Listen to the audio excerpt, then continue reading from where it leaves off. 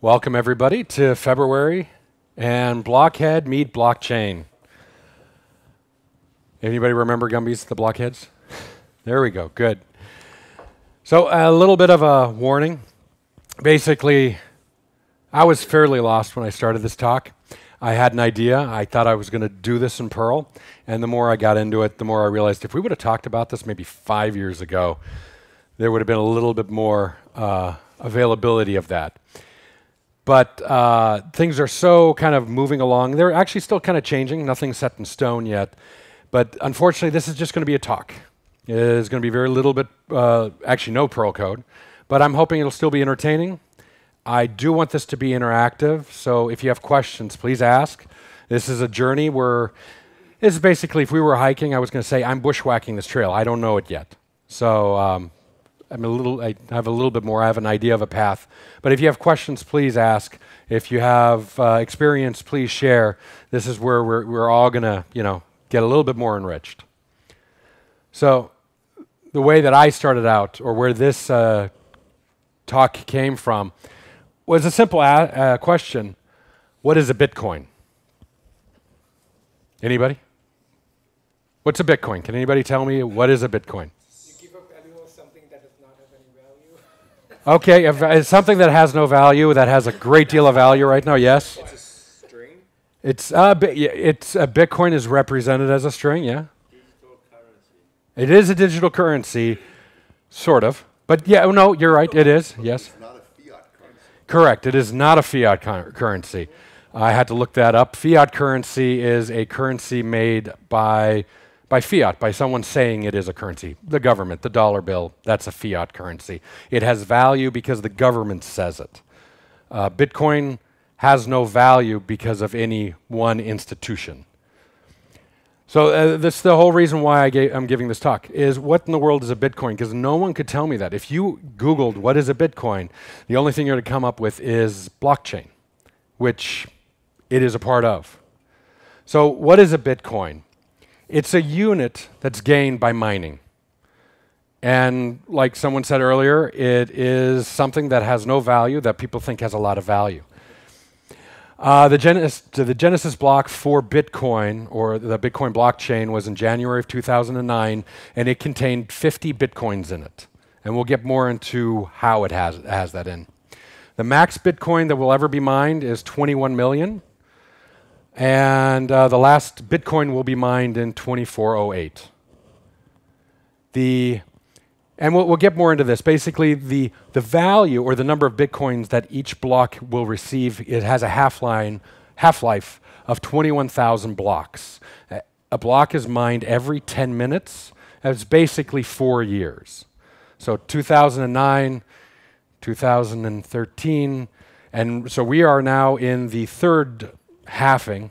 So right now, anyone who mines a, a block, a blockchain, a Bitcoin blockchain, will get 12.5 Bitcoin, roughly. Gets a little bit more, but you know, anyway. So since it's going down half by half by half, basically 99% of all Bitcoins will be mined come by 2033, even though we will have another 100 years or so, or no, 300 years before we get every last, you know. Because of the half-life. Yes. In 2048, we will, uh, and actually in June of 2048, we will reach 21 million bitcoins created. So, blockchain is really what we're interested in. The Bitcoin was the impetus for this talk, and it is part of why this actually has value and how this has gotten off the ground. So, the blockchain white paper was published by Satoshi Nakamoto in October 08. Am I really mispronouncing that? No, no it's, just that, it's just that, he's, that, that maybe he's me. You know, who knows? Uh, exactly. yes, that is true. We, we have no idea who Mr. Nakamoto is. It could be a single person, a group of people. Actually, the interesting thing is, I would highly recommend reading the white paper. It's fairly simple. It's really straightforward, leaves lots of questions uh, to be answered. But it, I'm sorry? We found it. Oh, they did find him? Yeah, it was in the news. Oh, okay. I didn't, I didn't, I never knew if that was actually confirmed whether they actually found him or not, or whether that was an imposter. But basically, one person published a white paper. And in the white paper, it lays down some ground rules. A tran- uh, to transact directly with each other without the need for a trusted third party. Right now, if I want to give you money, I need a bank. Because otherwise, how would you know that the money is any good? We need fiat currency. The, the idea of the blockchain is that we can transfer something in between each other without needing the trust of that third party. The system, it's secured as long as honest nodes collectively control more CPU than the, un, the dishonest nodes. And this is where we'll get, we won't really dive too deeply into that. This is the game theory of the blockchain. This is the idea that nodes that do the right thing will be rewarded. And a node that wants to do the bad thing, well, if it really wants to do it, it has to spend a lot of money. It's very uh, disincentivized to do that. So there's a proof of work involves scanning the value of hash of hashes, and that the hash begins with a number of zero. It's basically this is part of proof of work is expensive for a miner to do, but it's easy for everyone else to validate. It's basically you create a hash out of some given values, which we'll dive into later, and then there is a uh, a threshold, a level of difficulty, and the hash that you come up with needs to be less than that difficulty. Um, basically, very expensive, very hard to figure out. But once you figured out that hash, you can send it out to everyone, and everyone can uh, create that hash themselves really fast and look at the difficulty and say, yes, this is lower than that. It has more zeros, like what he's saying here, and therefore it's good. The majority decision is represented by the longest chain with the greatest work of proof. So basically, if two miners emit a block at the same time, one of those will eventually become orphaned. Because only the one that will continue to be built upon, in other words, forming the longest chain, is the true chain. This is how you can get a decentralized group to agree on one thing. And we will get into that. And if I'm if I've missed some things, there's so much information to, uh, to cover here in so many different directions that if I'm missing something, please ask. So, again, what is the blockchain? It's, it's basically this meeting of crypto cryptography, game theory, and of course, computer science. Cryptography is how we secure things. You know, we hash, we hash certain values to ensure that we accounted for everything. Uh, right now, they're using the SHA 256 which has a, a fairly good guarantee of no collisions, so that you know that if I give you this hash, that uniquely represents this one block. The game theory is actually where the bitcoins come in. Right now, a miner wants to mine because they get bitcoin out of it. And bitcoin right now is going for three grand a pop. So there is a good incentive. And that's also where the di disincentive uh, comes from. A bad actor can spend a lot of time trying to uh, create a block that isn't correct to try to fool someone. But the problem is they've spent a lot of time getting this block out into the ecosystem only to get rejected.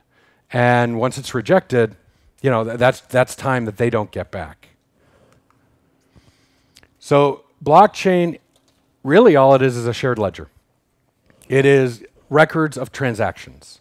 They are the records of the individual transactions and I love this word, clubbed transactions. Club transactions, or when you put them all together, you club them, although it really sounds like you're clubbing baby seals, is becomes one block.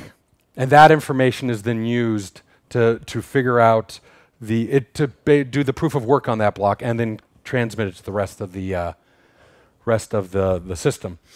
And that's our distributed database.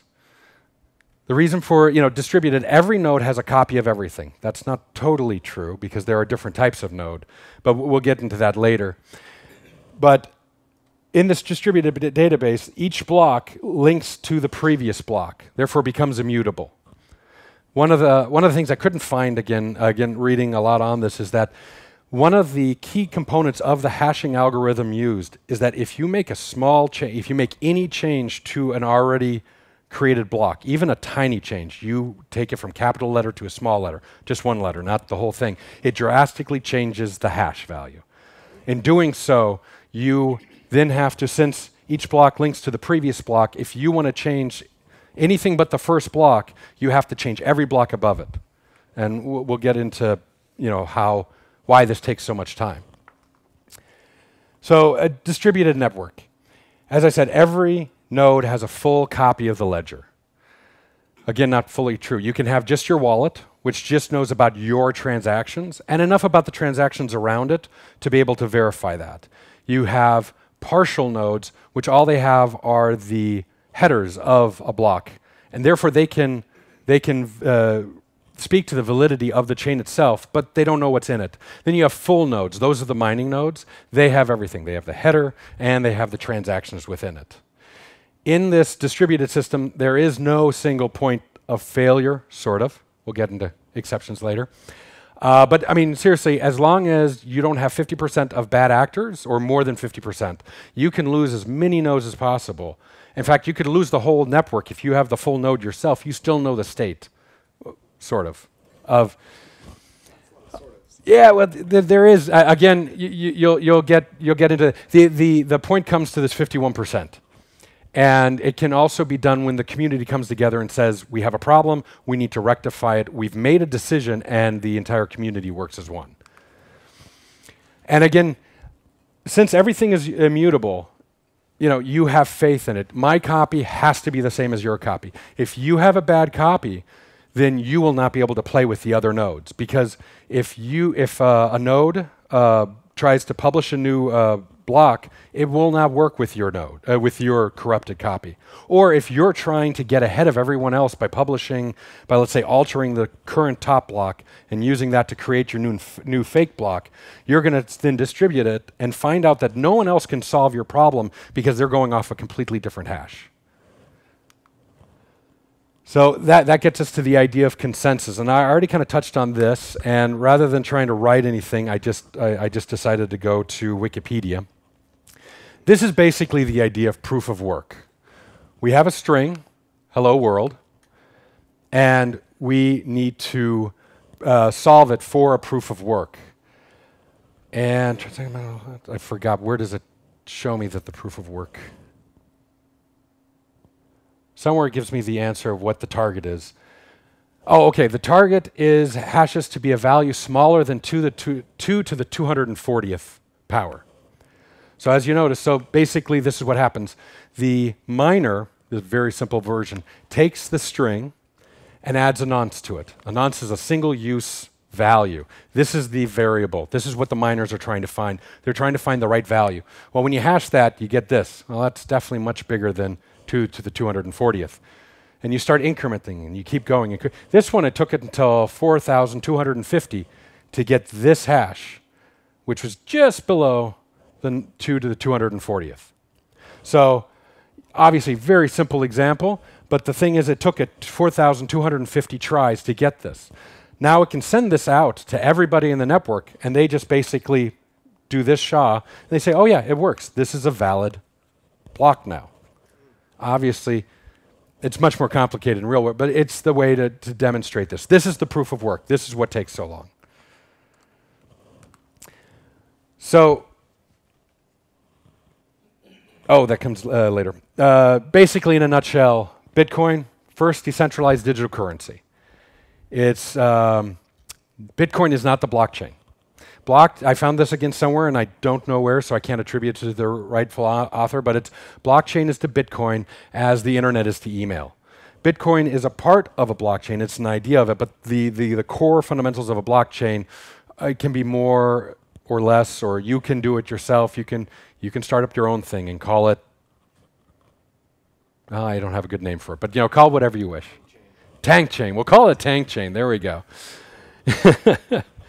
Basically, it is an open ledger for every transaction, every block is shared with everyone. Everyone sees it.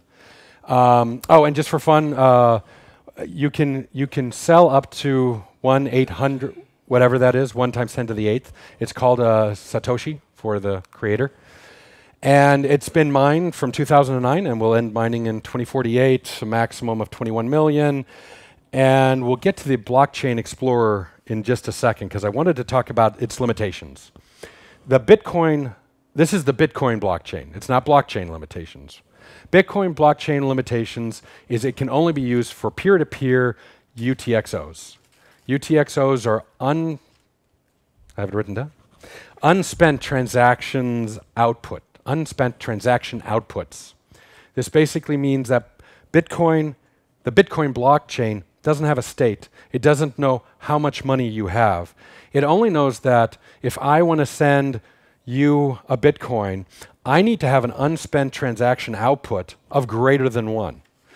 And I will split that into one for you, so and then a second one, which comes back to me. Let's say I, I have 1.5 Bitcoin. I want to send you, Steve, a Bitcoin. So I take the UTXO, I split it into two. One is for one to your wallet, which you've given me the public address to. The other one comes back to my wallet. Now, of course, the miner needs some some you know skin in the game, so there is also a transaction fee. Initially, the transaction fee was voluntary. You could do transactions for zero money, and then it would be up to be up to you to see if a you know Bitcoin miner ever picked it up, or but now lately they have become mandatory. It, it uh, and we'll see those in a little bit. Wow. So uh, the other limitation is that says POW. No, proof of work. I don't know why that's happening. Sorry. Proof of work is expensive.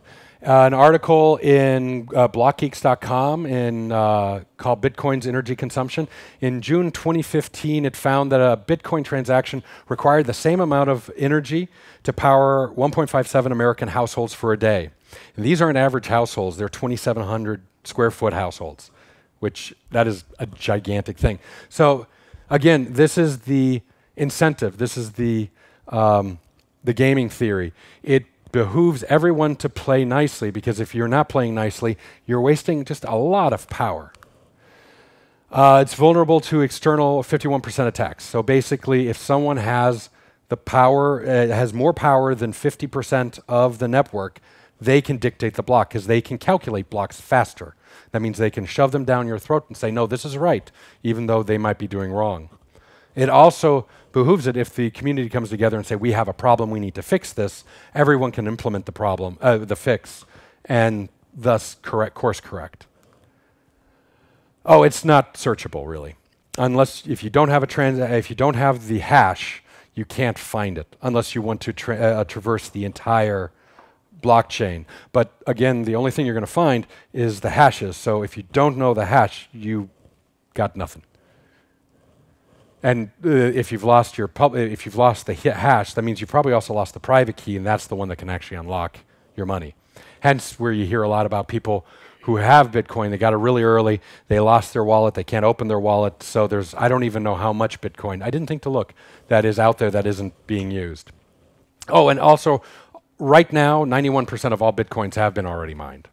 So from now until 2408 is 9% of Bitcoins left.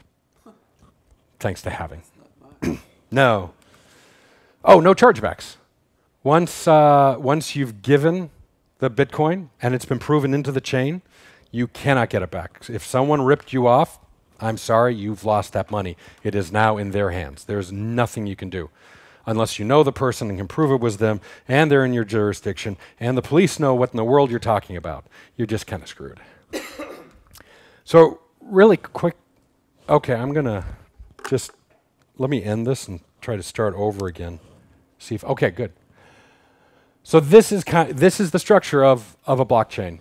So we have the Genesis block. It is unique because it doesn't come from anything, but it creates it creates the, the beginning. So basically, this is what gets hashed. You have the pointer to the previous block, which is its hash. It's its its hash of its entire payload. Then you have a Merkle root, which basically that's just a fancy way of saying you have this many transactions in it, you hash it together in a specific manner, and that proves that all these transactions inside your uh, inside your payload are valid. Um, I'm going to leave that again. If you're interested in that, uh, look at Merkle root, and uh, there I, I do have a good article for that later on. But that's how transactions can be validated before they really get into a block. Then it has a timestamp and then the nonce. This is the thing that they're trying to guess. For a blockchain, we, we saw the example of Hello World. For the blockchain, it is a hashing of the previous hash, the timestamp, the Merkle root, the nonce, the level of difficulty, all that together. And it, it ha- that hash needs to be less than the level of difficulty hash. And I lost a slide somewhere, so I'll, I guess I'll cover it here. So, I mean, basically, you're, you're, you're incrementing this by one every time. I'm sure that there are better strategies, but since a hash is not a linear thing or progressive thing, just because you're jumping from a nonce of 1 to 100, and uh, let's say that the answer is at 102, doesn't mean that you can see that you're 100 closer to it, because it, you know the, the, the, the nonce that solved it could be 3, but there is no correlation. So that becomes really expensive. It's a big calculation, and every time it basically takes 10 minutes to solve a, uh, a Bitcoin or to prove a Bitcoin block. Why 10 minutes? It's because of the level of difficulty that gets put into this. Again, right now the level of difficulty has somewhere in it starts with about 13 zeros. Every 2,000 or so transactions, the level of difficulty is examined. How long did it take to do the last 2,000 some odd blocks? Did it take an average of 10 minutes? If it took more, they lower the, uh, they make the level of difficulty easier. Oh, which means they would raise it. There we go. And if, uh, let's say, if it's an average of eight minutes for every block, they will make the level of difficulty harder. The idea is that every 2,000 blocks, it reevaluates the level of difficulty, trying to aim in at 10, min- uh, 10 minutes for every block. And then that's where you get the four year, and that's where you get 2408. 20, yeah. So um, let's just uh, take a look at what blocks look like. So this is uh, blockexplorer.com. Um, oh, there we go. So now it should be refreshing, but I've had this open for a while. Yeah, two hours ago. Let's go a little. There we go. So one minute ago, this block was uh, proposed. 11 minutes ago before that. Sometimes you have these really quick blocks. I don't know if that just means that, I'm assuming that's two blocks that were proposed at the same time, and one of those may fall off. I haven't figured that part out yet. But basically, here we can go inside the block. Here we can see the number of trans, uh, transactions in this block. So there are 29, 16 transactions. Um, the block reward is 12.5 bitcoins. The timestamp. The Merkle root, so this is the hashing of all of the transactions. That's the nonce. So basically, either they have a good uh, algorithm or they had to run the same thing one million, 3.6 billion times to figure that out. Should have taken them around 10, 10 minutes. Um, and here you can see this is, see, no inputs. These are the newly generated coins. This is 12.59. So that's basically the 12, 12.5 plus all the fees that this guy is getting from all the transactions. So let's so uh, so every block basically has a bunch of transactions in it and one Coinbase transaction. The coin, uh, of course, only until 2048. At which point in time, the uh, the miners will only be able to get the uh, the, fin- uh, the finance charges or the fees, I should say. So here's a great example. This person, C8B3, uh, needed to pay um, two people all of their bitcoins, I would assume, or this may be a different. Uh, they may have a different wallet, but they used three UTXOs that equaled up to. I can't do math. Um, basically, they pay 0.9 to this wallet, and the rest went to this wallet, minus, of course, their fee. So 2.68. So it's three thousand dollars per Bitcoin. So that person spent seven, eight dollars to run these two transactions. But this is basically how it works. It's not I have I have a wallet with 10, 10 Bitcoins in it. I have four unspent transactions, and I'm going to turn them into two. Or I have one, and I will turn them. Oh, here we go. I have one of, of uh, 18. Oh, and here we go. And I'm paying off th- three people, as you notice. That is his wallet, his or her wallet. So paid off 0.01 there, 0.02 there, 42 whatever there, a fee of 0.001, about three bucks, and the rest goes back into their wallet. So that, that's it. That's, that's how the blockchain works, and that's how what Bitcoin is. The Bitcoin is the incentive. The fact that it's worth 3,000 bucks, that, you know, your guess is as good as mine. And the, you know, per share? per Bitcoin, Per single Bitcoin. Okay. And you can transfer up to 10 to the minus 8 of a Bitcoin or one s- Satoshi. Shat- no, I get that. Bitcoin's been a bit of a roller coaster. Yes, that definitely been a bit, uh, roller coaster. The high was what, 20,000? Yeah, and then it fell down like. Yeah, so now it's three. So, you know, and it's that's you know what. I'm not here to advocate for what, whether it's a good investment or not. I'm just here to try to describe to you what the Bitcoin is, how you get it, and what's involved with learning it. So this is kind of this is this is the blockchain. This is kind of what they call blockchain 1.0. Ethereum is basically blockchain 2.0. It came out from uh, Vitalik Buterin. When I'm going through this with my head, I usually can pronounce the names. So uh, by uh, he uh, proposed this white paper, which I didn't find until last night, so I have not actually read it. It's a little bit longer than the uh, Bitcoin uh, white paper, but it is, again, freely available. Uh, basically, it launched on July 30th of 2015 with 72 million ETHs available. Uh, basically, the thing that Ethereum has given us is power. And so it's no longer just a transactional based thing by uh, introducing what's called a Turing complete language. Uh, never heard of that before. Turing complete simply means that it's a language that will allow you to build a Turing like machine. Whether or not it passes the Turing test, that's your problem, but you could. Uh, it does that through the EVM, which is the Ethereum virtual machine, and the DAO, which is the uh, decentralized autonomous organization. Which what in the hell is a uh, what is that? So basically, this is what we think of organizations. You know, it's just a top-down structure. Everyone, you know, talks to the people above them, and everyone follows the uh, follows the command from up above. Decentralized means just this. It's just it's a machine consensus, which blockchain can give us uh, around like token governance of uh, basically rule set and smart contracts. So basically, it is the language, it is the machine that runs Ethereum and allows the execution of these smart contracts and Ethereum smart contracts. There it is again. That's weird. So, uh, you know, this is where I talked about the consensus problem. I'll have another example later. People, when you talk to them, they're always talking about Bitcoin is the future. Bitcoin is solid. Bitcoin's amazing. Well, you know, one year after uh, Ethereum went out, the DAO, the, the base language, had a bit of a bug that allowed 50 million ETHs to be removed. So the community came together and basically says, okay, we're going to do a hard fork. The ETCs are the original ones. They will reflect the theft. ETH, which is what everybody uses, we will remove the theft. It never happened. So if enough people want to change the rules, they can. So, you know, something to worry about.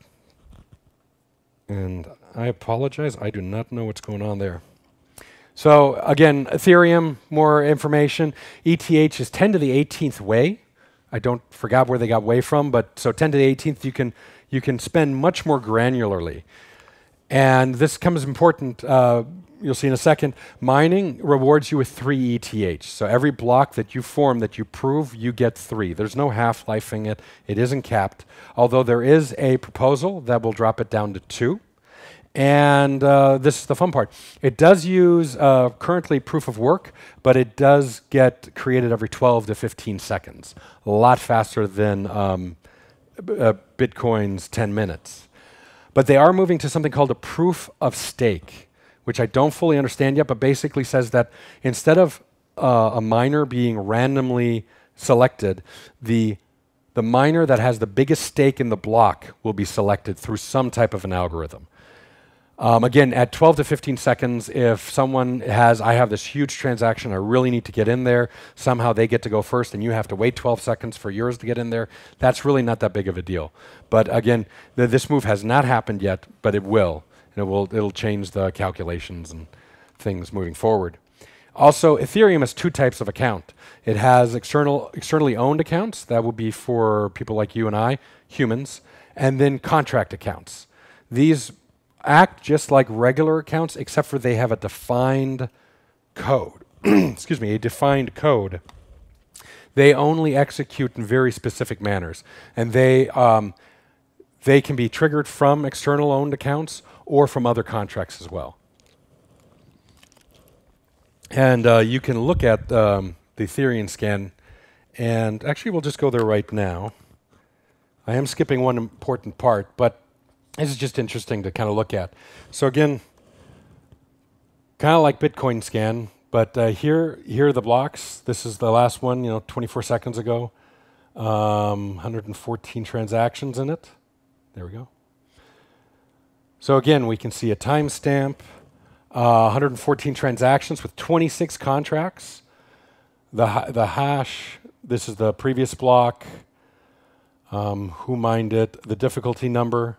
So then you know you could then compare. You know, run the uh, run the formula and compare their hash versus the difficulty. Um, and then we should be able to see. I in the nope. Here we go. So here, this is a straight transaction. It's from this uh, wallet to this wallet. So you can see this. These this indicates it's a contract. So let's take a look at this contract. I'm still trying to figure out how you can see what the code is. So Public information? Yes, the contracts are everything is public. There is no hidden or secret sauce here. If you need to, if you are if you want to do a blockchain and it needs permissioning or it needs to be a little bit more private, you need to write your own thing. Ethereum, the Ethereum blockchain is open to everyone. Everyone has a copy for this. I somehow you should be able to see what exactly this function is. I haven't deciphered that yet, but basically when this when this uh, contract uh, goes, it reading this, it just basically transfers from the owner's account uh, this much value to that. So it's, it's just a simple transfer. It, it would be just as, uh, as easy to do a regular transfer. But because it's an, uh, uh, a contract, it means that something triggered it. And the triggering, it can be really anything. And we'll get into that a little bit more second. So the, the important part, and I will give you a link on how to write contracts because that is a whole setup. And actually, there's some really, this is basically where the idea of writing anything in Perl went out the window because um, there are languages already written for those contracts. There are test environments. There are test blockchains where you can get test Ethereum to, and, and play around with everything. So at, at that point in time, it just kind of looked at, well, this is just going to be a talk, and you'll have to listen to me babble. So um, have gas we'll calculate. Very important in Ethereum, very important to understand the gas. The gas is an execution fee. It is uh, it's, it's for either a regular co- uh, contract or for a contract or just even a regular transaction. It basically limits execution length. This means that you can't write something poorly and then lock up a miner because whatever you're executing takes forever or even worse, gets locked into an infinite loop. So that, that, that becomes really important. You carefully need to consider the gas that you're going to give your contract. Basically, how to calculate it is the transaction fee, which is in Ethereum, is the gas used by the gas price, which is also in Ethereum. So the question then becomes why not just make it a, a simple Ethereum? I want to spend this much Ethereum on it. And it kind of comes back to this is their, their way of trying to control fees against a potential explosion in the price of Ethereum itself. Let's say you want this transaction to really go through, you're willing to spend a whole Ethereum on it because you got one from your last mining operation. But all of a sudden, Ethereum explodes to you know ten thousand dollars for one. Now you're paying ten thousand dollars for that one transaction. This is their way of basically controlling for that. And the way that it's done is gas used is basically the work done. So for making one hash, it costs you 30 gas, 30 units of work. Um, and every transaction, you specify the gas price. So that becomes a real can become a real problem. If you go too low, let's say uh, all you need to do is hash it for once, but you give it a gas price that only gives you 29 gas units, it'll never get done. The, the miner will run until you run out of money, and it'll say, well, that is a rejected transaction. Your transaction will fall away with no gas, and guess what? The money that you spent uh, in gas gets given to the miner because the miner did the work. You just did a poor job of figuring out how much to pay for that work. You go too high, you may run out of gas.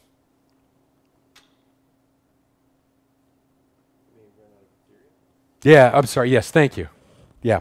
If you go too high, you may run out of Ethereum. It's basically if you only have so much in your wallet, but you say, oh, I'm willing to spend five for it, and something happens where all of a sudden it does take you know way longer than you expected or you're using bad code then it says okay that'll be 10 ethereum and you have 9 in your ba- you know in your bank account and then that's it. So there are tools out there that help you calculate what you're trying to do. It is something you do need to pay, uh, pay attention to. It's it's gas times the price price of that gas. How much are you willing to pay to get it in there? If you guess wrong it costs you a lot. The first Stack Overflow I ran into, it cost the guy $116 because he did not understand it and his gas was gone. And yeah, and basically the, the, the worst problem is the transaction is invalid because there is no gas price there. You need to, if you still need it to happen, you need to start all over again. And hopefully, if it is a contract, you'll fix whatever broke in it. I, I wonder if it's the dongle. So basically, the contracts. This is um, this is all I'm going to say about it. So enjoy. Um, there are many different uh, computer. There are programming languages already designed for it. The most uh, the most popular one that I've run into is called Solidity, and if you Google for that, you'll find it. Um, it's basically it's like any other programming language. It gets executed on the EVM. EVM. Yep, and it does what needs to be done. The uh, it basically it's kind of like the Docker way of a, co- a, contract. In Docker, in the Docker file, you specify exactly how you built your server, so you never have to wonder it again. With the with the contracts that Ethereum provides, now you never have to wonder what is the penalty for this again, or what did I say about this, because the contract is there. Now, just because you've written the contract doesn't necessarily mean that gets injected immediately. So, like uh, Gnosis, it's a prediction marketplace platform you create contracts of the Patriots are going to win the Super Bowl. Yay. Um, and so you create that contract. You as, as far as I understand it, you registered with them. They then wait to see for the Super Bowl to end. And once the Super Bowl is ended, they inject your contract. And then the contract will resolve itself. And you don't have to say, well, was there a point spread? How much money do I owe you? Oh, I totally forgot about it. And you have to remind me. You know, um, this is a fantastic starter on writing Ethereum smart contracts with uh, Solidity. It goes through setting up a test wallet with the test uh, chain. I, there's no way that I could think of anyone to see that, so this is the shortened uh, version of it. Um, you can spend, we could spend like hours just in that tutorial. So,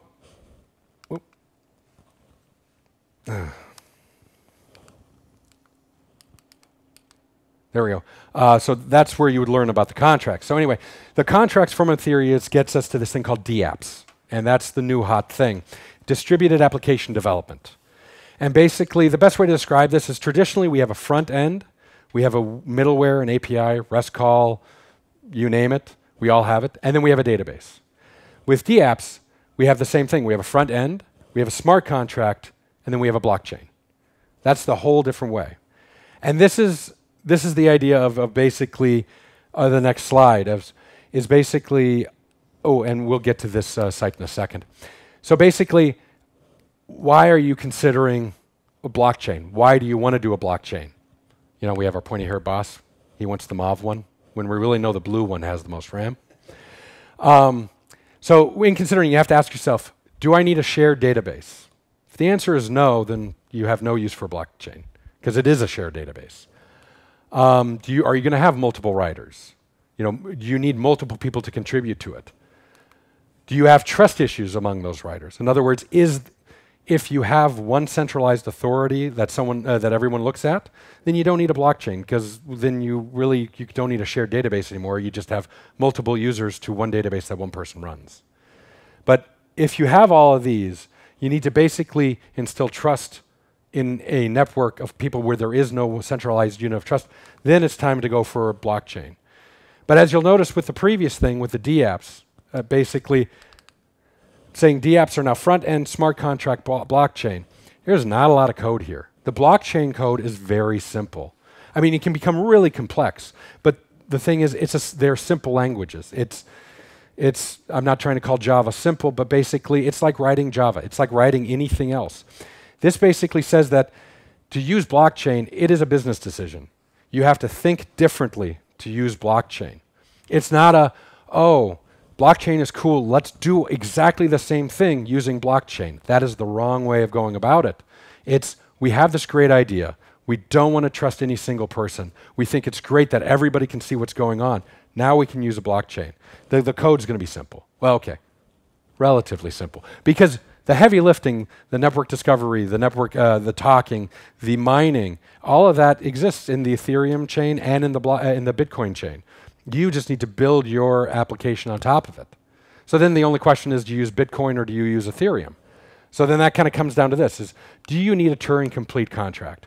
Believe it or not, Bitcoin does have a contract. It's just set in stone. It basically says money in, money out. A little bit more complicated than that. It does some uh, cryptography. Ethereum, it does have flexible contracts, let's call them that way. You need something that's decentralized. Of course, they both have. Blockchain creation, how important is speed to you? Ethereum is really quick. Bitcoin is slower. Also, the purpose. If you're just doing payment transactions, you may not need the, the heft of Ethereum. I now know where that slide went. Sorry. Um, Ethereum you'd use if you're going to just basically have a peer to peer network of contracts that are basically governed by the community.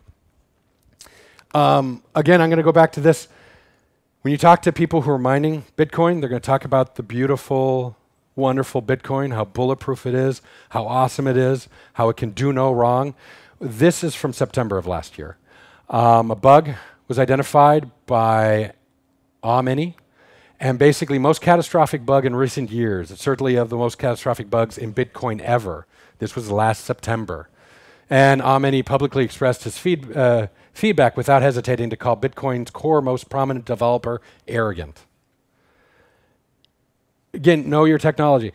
The, uh, the blockchain is a great technology. It's a great way forward. You can write it yourself if you need a little bit more control. But if you play out in the wild, realize that you are still at the whims of the majority, even if they think that they're doing good.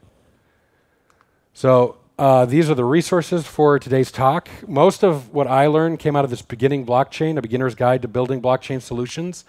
This is not a dummies or idiots guide. This thing goes deep in every direction. In fact, if there was if there's like a section that you guys want to dig into for next time around, I'm happy to do that. There is just I mean, the, I mean, I'm at uh, uh, 45 minutes right now, and I feel like I've skimmed over so much. I hope I didn't go too fast to stop anyone from asking questions. But uh, fantastic book, highly recommend it. Um, this thing guide to what is crypto econo- uh, economics. It basically covers everything that's in this book in a much more shallow way. Um, so if you want a deeper dive into what I've been talking about, that's a great medium point. If you don't want to go as far as this thing because this has an entire chapter on asymmetric versus symmetric encryption. It's really kind of cool. Of course, the two white papers. And um, if you are interested, someone did write a, uh, a Bitcoin blockchain implementation. Uh, the author makes it very clear that this is just a proof of concept. He was just following someone's tutorial to see if he could do it. It's pretty raw, but it is there. Um, so, are there any other questions before I conclude? Yes. Zero sense to spend a lot of money on buying a mining rig for Bitcoin, even if I used ASICs. There are a lot of people. Uh, the uh, question is, at this time, it uh, doesn't make a lot of sense to buy uh, a, a, Bitcoin rig. Um, honestly, I, I, I, can't speak to that. Obviously, the uh, the Bitcoin um, the Bitcoin evangelists they would say, of course it is. It's going to make you money hand over fist. Um, Pardon my recipes. Yeah. Well, that, well, that too. Um, oh, there's a K in there. So, I mean, it really depends on what you feel that the uh, the cost of um, the cost of Bitcoin. Oh, that's you don't see any of what I'm showing. Sorry. This is what I was pulling up. Um, so uh, this is a spreadsheet basically assuming 10 minutes uh, every four years, 10 minutes for Bitcoin. We are right now here in this. So I mean, you are still you are still getting you know t- uh, 12.5 per block that you can prove out. So that's uh, what 36 three, uh, $3600. Um, in 2020 that goes down to 6, so that's six, uh, $1,800. Uh, $1,800. That's every 10 minutes. If you have the biggest, baddest rig out there, I don't think you'll get every block, but I mean, you could probably harvest quite a few of these. So some people would argue it. But yeah, it is definitely the nuclear arms race. It's, yeah, you're going to buy the bigger one, then someone else is going to buy a bigger one, and then NVIDIA is going to have one with 30 cards in it, and it's going to burn down your house because of the heat. The sun's going to look at you and say, wow, it is Phoenix. Yeah. So sorry. So um, honestly, that, that's really up to you. Uh, it's I, I kind of yeah. I you know you can definitely say you know back you know back in 09 when there weren't that many, it, it seemed like that's a great idea. Definitely now with what we know, but yeah, who knows? Uh, uh, Bitcoin may go back up to twenty thousand a piece, or may it may become one for one. Who knows? But it, I guess the idea for Bitcoin, it's a little bit more limiting because it is just about transactions and money. For Ethereum, it's a little bit more grandiose because it's the, uh, Ethereum. The idea is building applications, it's building the next wave of applications on an open platform of blockchain, uh, and, and, it uses the currency as as the the way of getting that done, of incentivizing, of making sure there aren't bad actors, and so so you know, I would throw in my lot with Ethereum, but that's because I like the ideas of what you can build there rather than, you know, trying to chase the money. Uh, can you give an example of what you build that would be Ah. something distinct from uh, just a transaction system like an economy in a game? Yes. to buy Skyrim. Actually, I'm glad you brought that up because I said we would get to this slide. So this is uh, state of uh, state of the dapps.com. So these are there are 2,000 different apps up right now. Um, improve your health experience. Where there was one where you could race cars and mine Ethereum at the same time. Media games, battle royale, Unity games in one ecosystem. Let's game several off-chain multiplayer games with the Unity web multiblock in one blockchain ecosystem currently.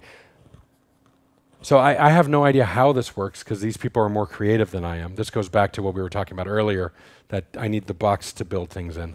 Um, this is definitely, um, I guess that's the thing is the blockchain pro- uh, provides brand new ways of experiencing apps. But uh, yeah, definitely you can. Uh, so what categories? Well, let- let's take a look at the. Oh yeah, my dice bot. So you can. This is one where you can basically. I, I or I, there was another one like this where basically say I bet this much, and then something random happens. That's the contract, and then you either get more or you get nothing. Uh, so obviously that's either. But where did the health one go? Anybody see the health?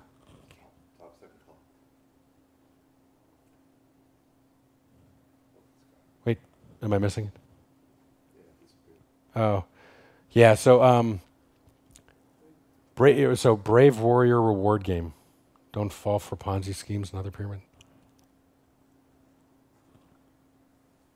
Each brave paying one uh, 0.1 ETH to participate in one warrior losing, but receiving dividends from P3D. The winners receive 13 spoils of war. So I guess it's you create your character, they battle each other, and so forth. So. Uh, with blockchain, you said that the difficulty is constantly reassessed. If it's decentralized, how do they decide when the difficulty needs to go up or down? that every 2000 it's it's in the core code of the blockchain of the bitcoin blockchain it says so because it's all distributed meaning when uh, when the two and i reason i say around 2000 because i saw one one source that said 1096 and another one that said 2013 so but basically when it hits when every blockchain receives that number they all execute the same algorithm and they all come back with the next difficulty and it is up to again it is up to the next miner that proposes the next blockchain, it will send out. Uh, remember, the um, the hash is the Merkle root, the previous hash, the difficulty level, the timestamp, and the nonce. So the difficulty is part of that. It sends you the difficulty that it's shooting for. And I'm sure that there's some defensive code that if you think that the, the, difficulty is 100 and it comes back saying, oh no, the difficulty is 1, the network will probably reject the block. Yes? What is it about video cards, GPUs that are that are attractive or Well, think of it. Uh, GPUs are attractive, and this is, I'm not an expert, um, to display anything graphical, heavy in math. And that's all that a blockchain is, is big math. Uh, the GPU is, um, is performance, it's performance enhanced. It is, it is tuned for mathematical equations. It doesn't have to worry about moving a file. Yeah, yes. So it, it, it's the best for math. So the blockchain, when you play with it, you need to be all time in contact with the network. Y- I mean, yes. Yeah, if you want to play on the network. Now, if you're, uh, if you are, yeah, if if you are off, the, there are some, there are some things that are being proposed that allow for off-network calculations, and that is just that's on the very cusp, and I, I don't understand that yet. But basically, yes, if you want to participate as a full mining node, you have to be in contact with the um, with the network you know 99% of the time. I mean, you can have a little bit of downtime, but if you're down, then you're in and you miss, you know, because uh, to you downtime is money. Because if you miss the next proposed block and it gets proven, you don't have the right hash anymore. So let's say a uh, a block gets gets uh, proposed. And one minute later, you finish the block that you've been working on. Well, that block is invalid because with a minute, this other block is probably for certain good, and you've been calculating off of the hash of the block that it's pointing to. So no one else will recognize your block. So it's when you're not connected to the network and you're trying to actively mine, you will lose money. You need to be faster than the person next to you. Like if if you get in the new block and like a tenth of a second or a hundredth of a second later you uh, solve yours, you get that one out as fast as possible because maybe you'll just get there quicker because maybe you have a faster pipe. But I'm sure that active miners have thought of all of this and are trying to maximize that as much as possible. in the Ponzi tag? Yeah.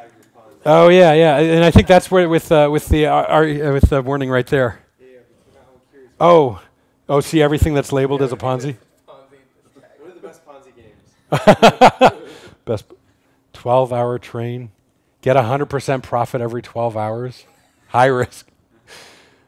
World Trade. Fi- Sketchy about that. no. They, they, they need the what was what was the uh, Apple app the I am rich it cost a thousand dollars and it just gave you a big button you need the I am rich uh, thing where you just get take uh, eth- Ethereum from other people So, high risk. Invest. Em- there we go. invest yeah. So I, I, I hope that you guys found this valuable. I hope that, that it answered some questions. I realize it had no code in it whatsoever. Yeah, it's basically if if any part of this sounds interesting, please let me know. We can definitely dive into code, into theory, into any one section of it. Please not the crypto part because that is my weakest. But if you want, I'll find someone.